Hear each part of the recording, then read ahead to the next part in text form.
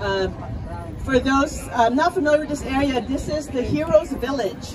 Uh, we call it the Heroes Village because it, the street names are named after our Filipino heroes, Lapu-Lapu, Bonifacio, but this is also the home of our Sheroes, our seniors um, who really are the cultural bearers of our cultural district. So want to acknowledge all of them here to the right with you. Um, but we really want to start the program um, by recognizing um, some of our very special guests um, and the artists that brought this major historic restoration um, brought us uh, today. Um, I want to start with the original artist, a recognition of the original artist. Um, we have, uh, of course, Johanna Poethig, who's the lead artist back in 1984, who in her 20s, you know, um, really worked closely with the community to develop the design of the mural. Um, and we are very um, honored today that we are also joined by one another original artist, um, Presco Tabios, who's here today. We thank his son for bringing him out here. Um, and you know, again, this would we wouldn't be here if not for their vision and their work um, 40 years ago exactly. And um, we're also uh, really thankful to have um, one of the original artists is a mentor of mine. He was the one I've actually first learned about the mural from. His name is Vicente Clemente, and he has now passed. But um, we're joined here today by his daughters, Nika and Cynthia, um, who's here in the front of their families. So we want to thank them for joining us and, um, you know, for continuing the legacy of their father. Um, but we also um, really want to do a special thank you and recognition for the, the artists that brought this new, really vibrant mural to life. Um, and uh, it's been really, um, it, I mean, I, they did it actually in record time. And we were really lucky when we first um, talked to Johanna about uh, restoring it. We wanted to make sure that she worked also with the new generation of Filipino artists. That's really, if you've looked around the cultural district, there's uh, we're blooming with art, and it's really the Pinay artist that's bringing it to life. So we want to recognize and acknowledge uh, Deb Hirana, who is a Bay Area artist. Um, she has a studio in Oakland. Uh, she has deep roots in the Philippines and also um, here in our local communities. Deb is not just a very talented um, artist, but she's also a dedicated mom. And she's a great uh, community advocate, um, even at the national level. And she's um, really put a lot of heart um, into the mural, but also has done a lot of advocacy to lift up uh, families, especially those that are underserved um, in our community. So we're really lucky that she was part of this project. Um, this is Deb over here. we're joined here by her kids and her husband and friends. Um, we also want to uh, do a special thank you and um, recognition of um, one of the, also the supporting artists, um, Marielle May Paat. Uh, Marielle, both Deb and Marielle, they actually have their art at the de Young um, Open. Um, they're both incredible um, uh, uh, portrait artists, and that's why they were selected for this work. Um, Marielle has deep roots in San Francisco and particularly in the Salta market. She's a resident at Roots Division and currently she's a teaching artist at Galing Bata. So she's basically teaching a whole generation of, of young uh, Filipinos and working class kids um, the, the art of really telling our community stories. So thank you, Marielle, for all your work on this beautiful mural.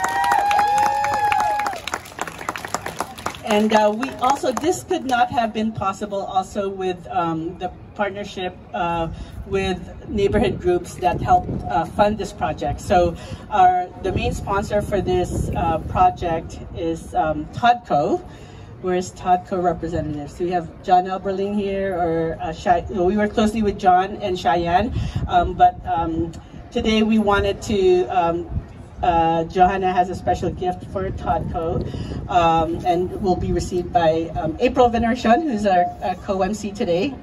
So uh, April also has deep roots in South Market. You know her previously from South Market Community Action Network, and she continues to support the community. She's the uh, board president of TODCO, and um, they sponsored um, the mural um, for $100,000, and that's how much you know the cost of the restoration was. And so um, we want to give them a gift, which is uh, a framed photo of the original of the original piece. Um, and so while the original piece is very beautiful, um, and we, you know, it has its place in history, and so we want to make sure we capture it and, you know, it'll be here in Todco in the community um, and want to just acknowledge and thank uh, Todco. And Todco um, owns many of the senior uh, buildings around here. Later we'll have a representative from 50 Rizal who, um, who, uh, who allowed us to repaint the mural. I also want to acknowledge Pablo here, who has worked on so many murals uh, around the Bay Area. And he, this is a very tall wall, and he jumped up there to get us started and get over our feet. Thank you so much, Pablo. Yeah, so the, all these artists, you know, risked and climbed great heights to, to make this happen. So we really just thank them because this gift is not just for us here, but for generations to come. Another 40, 50 years, if not more. Can you do one, photo with all the artists, maybe?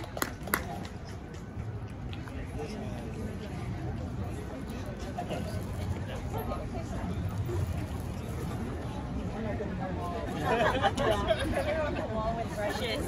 Right? Oh, sorry. Ooh.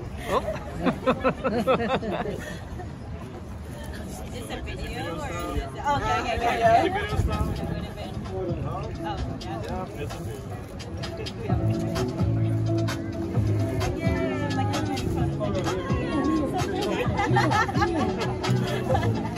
Everyone say something.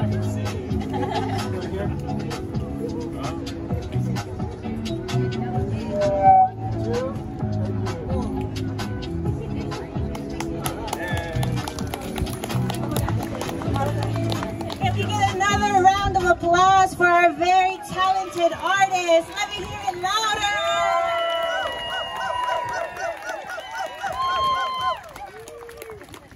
And as Raquel mentioned, this mural is super significant because we're able to, we're invited to connect to the histories that precede us and to really find one another in how we want to continue those legacies. So if you look up, you may notice some of our Philippine national heroes in which these streets are named after.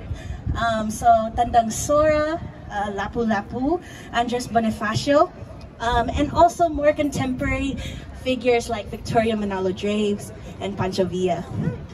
Um, and to honor the different migration stories um, of different agricultural workers, of different farmers and nurses and cannery workers. There's so much history in this mural.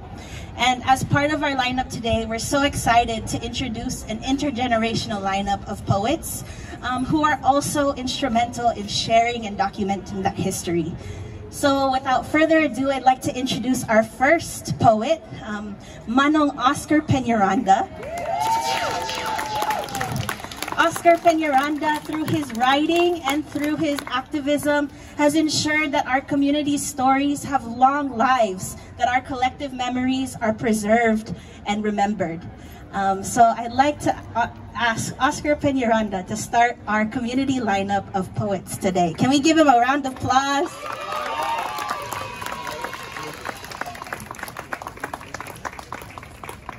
Thank you. Thank you very much. um, I am a poet for today, but today we are all going to be poets. I will read you something that I've written to make you realize that each one of us is a poet at heart. And it's called The Poet in You. I am not the dawn, nor the dusk. I am not you, nor he, nor she, nor they. I am the one who stands between you and all the dawns and dusks of time.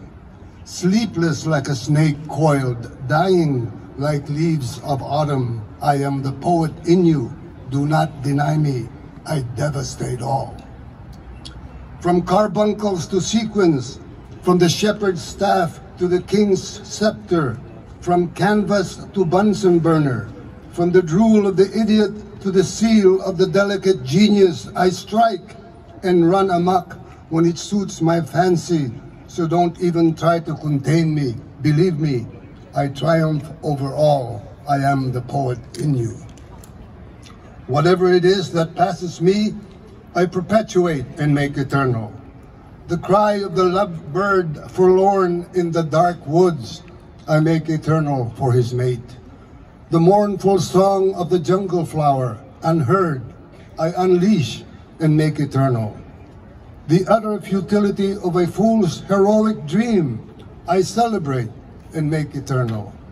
When you stand face to face with the glow of sunrise on a hill already red with fire, I am there between you.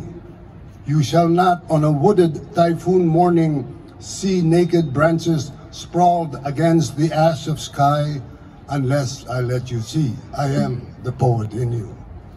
You shall not contemplate a single blade of the rice stalk in the mountain terraces or the flight of the kingfisher across the bay scanned from the deck of an inter-island ship of my boyhood, or the weight of fear and betrayal behind the thousand bullets that riddled Emiliano Zapata, or the sheen of the mountain lake silver in the moonlight, or the bayonet that stilled the solitary walks of Crazy Horse at nights along his doomed village, or a man lying beside his beloved in the woods, or the bullet or blade that ripped Bonifacio in the back, or a rose petal dripping in silence after the rain. No, you shall not contemplate any of these without first contemplating me. I am the poet in you, and I am the killer of death.